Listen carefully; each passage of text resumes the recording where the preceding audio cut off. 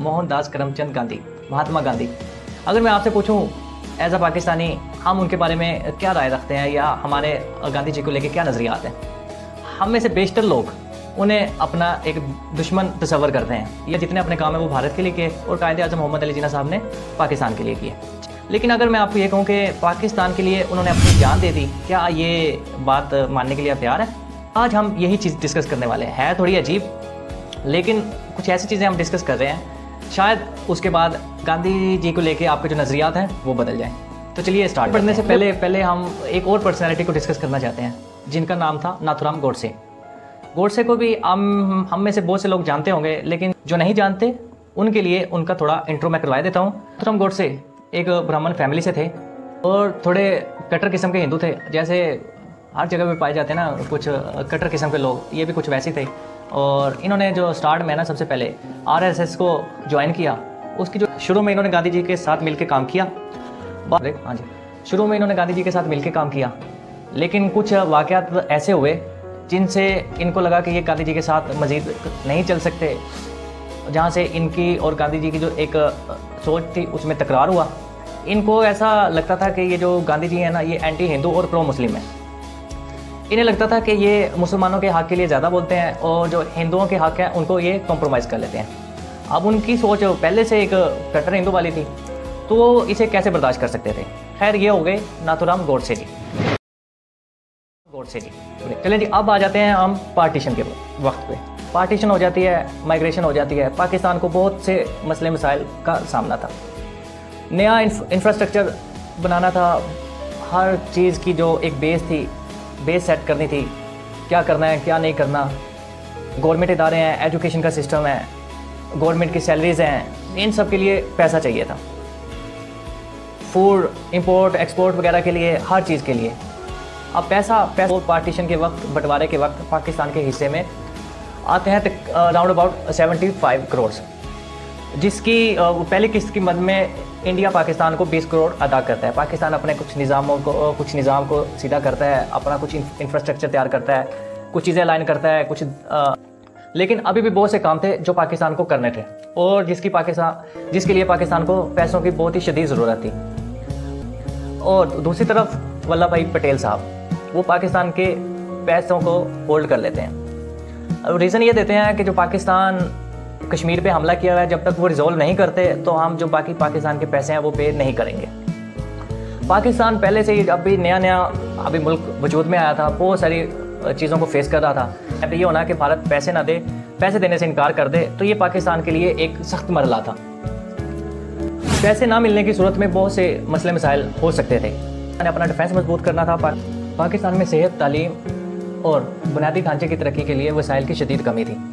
इससे लोगों की बुनियादी ज़रूरियात पूरी ना होती और बहुत से मसले मसाइल पैदा हो सकते थे। जब लोगों की लोगों की ज़रूरियात पूरी नहीं होती, आज के टाइम पे भी हम देख सकते हैं कि जब हमारे पास बिजली के बिल आते हैं या हमारा जब महँगाई बहुत ज़्यादा बढ़ जाती है, लोग तंग आ जाते हैं। लोग सड़कों पर निकल आते हैं एहतजाज करते हैं गवर्नमेंट के ख़िलाफ़। तो सेम ये सिचुएशन तब भी पैदा हो जाती अगर हमें वो पचपन करोड़ बकाया ना मिलते। लोग गलियों, सड़कों में निकल आते, हुकूमत पे प्रेशर होता। अभी हुकूमत भी वो जो अभी प्रॉपर स्टेबल भी नहीं हुई थी। या हम शुरू से ही चल आगे चलने के लिए हम कर्जा लेना शुरू कर देते जो कि बाद में तो हमने लेना शुरू कर ही दिया है। जिसके नतज हम आज भी भुगत रहे हैं। लेकिन ये तब, ये डे फ़र्स्ट से स्टार्ट हो जाता कि हमें दूसरे मुल्कों से कर्जा लेना पड़ता, मुल्क के बुनियादी चीज़ों के लिए। और बहुत से प्रॉब्लम्स थे और हल सिर्फ़ एक, कि वो पैसे जो हमारे हिस्से के हैं, वो भारत हमें दे दे।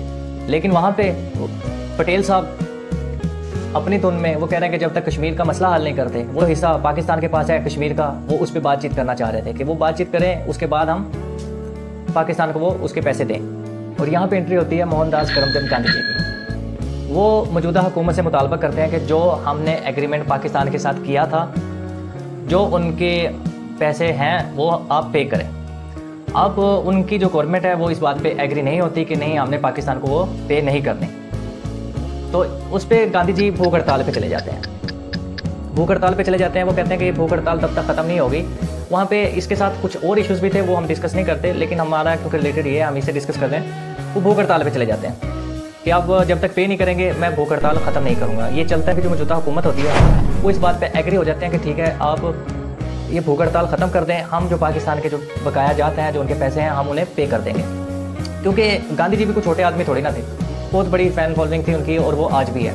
ये अलग बात है कि जब से मोदी जी की हुकूमत आई है, तब से गांधी जी से ज़्यादा उनके जो हीरो हैं, उन, अब गोडसे बनते जा रहे हैं, नाथूराम गोडसे उनकी आइडियोलॉजी को वो ज़्यादा फॉलो कर रहे हैं, उनको हीरो मान रहे हैं। आपको फ़र्क तो पड़ेगा, क्योंकि जिस पार्टी से ताल्लुक़ नाथूराम जी का था, उसी पार्टी से ताल्लुक़ मोदी जी का भी है। तो चीज़ें तो बदलेंगी। तो अब उसे, नाथूराम जी को वो हीरो मानना शुरू हो रहे हैं, ऐसा ऐसा ऐसा ये जो पॉपुलेशन है, ये ऐसा ऐसा जो लोग हैं इंडिया के, वो मोस्टली बढ़ते जा रहे हैं किस तरफ़? गोडसे की तरफ़। खैर, ये एक अलग बात है। ये इतना हो गया जी, उनकी भूख हड़ताल ख़त्म हो गई। भूख हड़ताल ख़त्म हो गई और पाकिस्तान को उनके पैसे पे कर दिए गए, जो कि 50 करोड़ पे किया गया। पाँच करोड़ तो खैर आज तक पेंडिंग है। पाकिस्तान को पैसे मिल जाते हैं। पाकिस्तान अपनी जो, जहाँ जहाँ पे उन्होंने यूज़ करना था, वो एक अपने, एक लग जाते हैं अपने काम में। खैर, लेकिन गांधी जी की ये कहानी यहाँ पे ख़त्म नहीं होती। नाथुराम गौड से जिनका हमने स्टार्ट में ज़िक्र किया था, वो एक कटर किस्म के हिंदू थे। वो पहले ही गांधी जी के बारे में इस किस्म की राय रखते थे कि ये एक प्रो मुस्लिम है या प्रो पाकिस्तानी है।